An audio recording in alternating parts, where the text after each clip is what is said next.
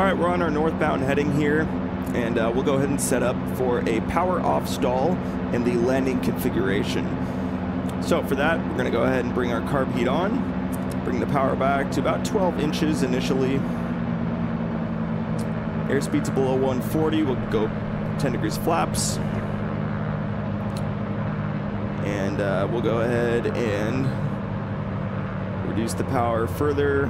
We're in the wide arc, flaps to 20. We'll go ahead and open our cowl flaps. Power is all the way to idle. There's full flaps.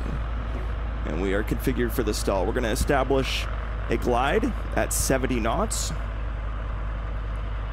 in this configuration, and then we're going to pull the airplane up into a pitch attitude that will induce the stall. So there's our glide already established.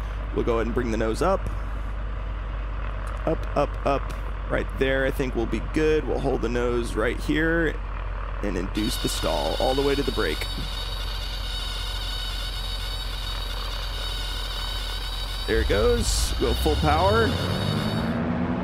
There she is. Flaps to 20. Bring that nose up.